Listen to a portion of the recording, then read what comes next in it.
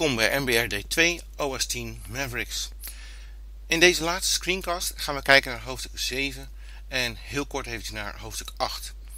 Hoofdstuk 8 bestaat eigenlijk niet uit opdrachten, maar we gaan alleen even kijken naar hoe een OS 10 systeem opstart. Maar eerst beginnen we met hoofdstuk 7, welke gaat over randapparatuur. In dit hoofdstuk gaan we het hebben over het installeren van een printer, hoe je dan kan gaan printen en welke settings je daar kan gaan maken. En we gaan kijken naar het CUPS systeem. Allereerst het installeren van een printer.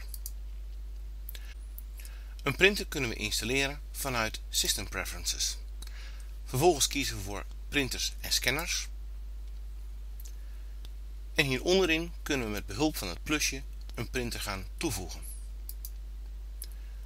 We kiezen voor Add Printer or Scanner. In dit voorbeeld wordt er al een printer gevonden, namelijk een HP Color Laserjet. En het protocol wat daar gebruikt wordt is Bonjour. Dat is een protocol wat door Apple zelf ontwikkeld is. En daarmee zoekt hij een omgeving naar andere apparaten die hetzelfde protocol spreken. Deze printer ondersteunt dus blijkbaar Bonjour. En op die manier profileert die printer zich op het netwerk waarmee hij zich kenbaar maakt. Deze gaan we zo meteen kiezen. Maar we kijken eerst nog even verder naar de andere mogelijkheden in het menu. We kunnen eventueel met deze knop een fax gaan toevoegen. Als we deze gaan kiezen, IP, kunnen we een netwerkprinter gaan toevoegen. Als we het IP-adres weten of de hostnaam, kunnen we dat hier gaan invullen. Vervolgens kiezen we welke, welk protocol er gebruikt wordt. Het kan het Internet Printing Protocol zijn, een Line Printer Daemon of een HP Jet Direct. Indien aanwezig kunnen we de queue in gaan vullen. Meestal wordt die standaard leeg gelaten. En vervolgens kunnen we een aantal gegevens over de naam en de locatie en een driver gaan opgeven. Een andere mogelijkheid is om via de knop Windows. En dan gaat hij kijken welke servers er om ons heen aanwezig zijn. In dit geval heb ik een voorbeeld van een server. En zo op die manier kan ik uh, een domein en kan ik vervolgens naar een aantal servers gaan doorklikken om te kijken of daar een printer aanwezig is. Om wat geavanceerde mogelijkheden te hebben, kunnen we hier rechtsop klikken en kiezen voor Customize Toolbar. En dan hebben we de mogelijkheid om hier de knop Advanced in het menu erbij te gaan slepen. Op die manier krijgen we een knop Advanced waar we nog meer mogelijkheden hebben.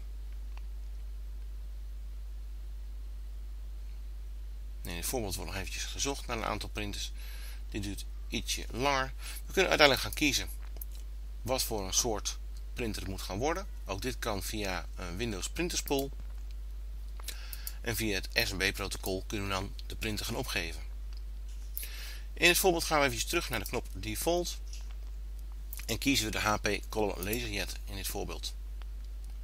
We kunnen aangeven welke locatie dat is.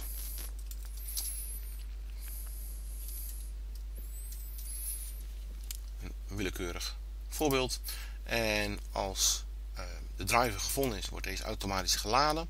Of we kunnen uh, de software hier gaan selecteren. Met knop Add wordt de printer toegevoegd. Krijgen we nog wat eventuele opties die we kunnen gaan kiezen. En staat de printer geïnstalleerd. We gaan even kort de knoppen hier langs. Een print queue. Hier kunnen we straks zien als er een print gemaakt wordt naar dit print device toe zien we uh, die jobs hier voorbij komen. Zo'n job kunnen we gaan pauzeren. We kunnen nog even naar de settings uh, gaan kijken. De option en supplies geeft ons een minuutje waarin we een aantal mogelijkheden kunnen gaan bekijken. Bijvoorbeeld de webpage van deze printer. Dan wordt deze geladen. En kunnen we dus zien bijvoorbeeld uh, de gegevens over de hoeveelheid toner die nog aanwezig is, etc. En welk IP-adres die printer dan wel heeft. De opties die we net ook al voorbij zagen komen tijdens de installatie. En indien aanwezig wat informatie over het supply level. Maar dat zagen we dus net in de website ook al. Dan kunnen we aangeven wat de default printer moet zijn en wat de default paper size is. Dat zijn mogelijkheden die we hier kunnen kiezen.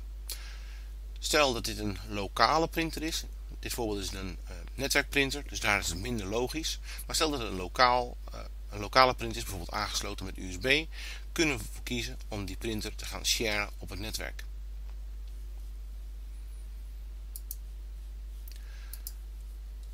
We kiezen eventjes een, een optie en we gaan even openen, openen het programma TextEdit. En vanuit TextEdit kiezen we de optie Print. Om even deze opties ook na te lopen. Er zijn niet zo heel veel uh, spannende mogelijkheden hier te zien. Maar we kunnen de soort printer gaan, gaan kiezen. Stel dat er meerdere geïnstalleerd zijn. Of alsnog een printer gaan toevoegen. Het aantal kopieën, het aantal pagina's.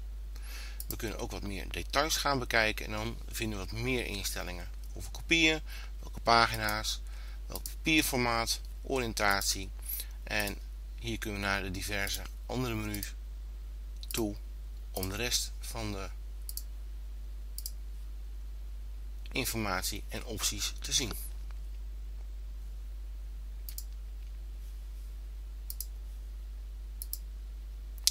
Om nu nog meer met instellingen te kunnen doen, gaan we gebruik maken van de browser. En gaan we naar localhost, dubbele punt, poort 631. Dan komen we in CUPS uit. En CUPS is het systeem, het printsysteem wat binnen OS 10 aanwezig is. En CUPS heeft dus een eigen uh, webinterface ook, waarmee je meer kan regelen met betrekking tot die printers. Dus als we hier naar tablet printers gaan, vinden we bijvoorbeeld die printer hier terug die we net geïnstalleerd hebben. Dan kunnen we ook gaan kiezen. Dan kunnen we een aantal zaken gaan uitvoeren. We zien bijvoorbeeld um, hoe de connectie opgebouwd is, wat de driver is. En we kunnen hier een aantal taken doen met behulp van administration. We kunnen de printer gaan aanpassen, we kunnen de printer gaan verwijderen, etc. Een heel aantal mogelijkheden dus. Administration ook. Hier kunnen we printers gaan toevoegen, nieuwe printers gaan vinden, etc.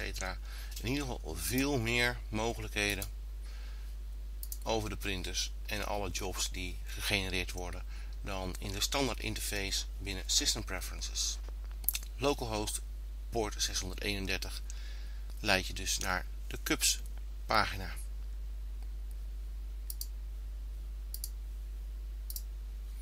Dan gaan we eventjes terug naar ons document waar we mee gestart zijn. Want hiermee hebben we eigenlijk heel kort hoofdstuk 7 besproken, randapparatuur.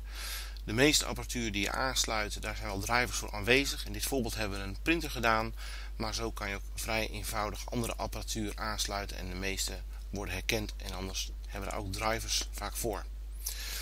Hoofdstuk 8 gaat over het opstarten van uh, het systeem. En ik heb hier een viertal plaatjes neergezet die de vier stadia aangeven waarin een OS 10 systeem opstart op het moment dat je de knop indrukt. De eerste geeft een uh, luidsprekertje weer en dan wordt de firmware geladen. Dus je hoort een geluid op het moment dat je de knop aanzet. En op dat moment wordt de firmware geladen. En firmware is een ingebouwde uh, besturingssoftware in de hardware. Firmware wordt vaak speciaal geschreven voor het aansturen van één apparaat. En soms is het mogelijk dus om een dergelijke firmware te kunnen updaten. Nou, als het OS 10 systeem in het stadium is waarin die firmware geladen wordt, dan wordt daarin de hardware getest en geïnitialiseerd. En de volgende taak van de firmware is om de booter uh, te zoeken en te lokaliseren. En als die booter dan één keer gevonden is, die de volgende taak overneemt, zie je dat aan het scherm, omdat er dan een donkergrijze uh, Apple logo in beeld komt. Op dat moment is dus, wordt de booter geladen. De taak van de booter is om, het, uh, om de systeemkernel uh, en de belangrijkste systeemdrivers in het geheugen te laden.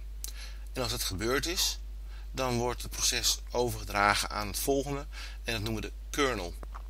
En als de kernel geladen wordt, zien we dat op het scherm omdat er zo'n spinning gear uh, onder Apple verschijnt. De kernel die levert uh, het basissysteem en die laat nog meer drivers uh, in. En wat hij uiteindelijk ook doet, is het Unix systeem waarop OS 10 gebouwd is inladen. Als het gebeurd is, dan wordt het systeem eigenlijk zeg maar geladen.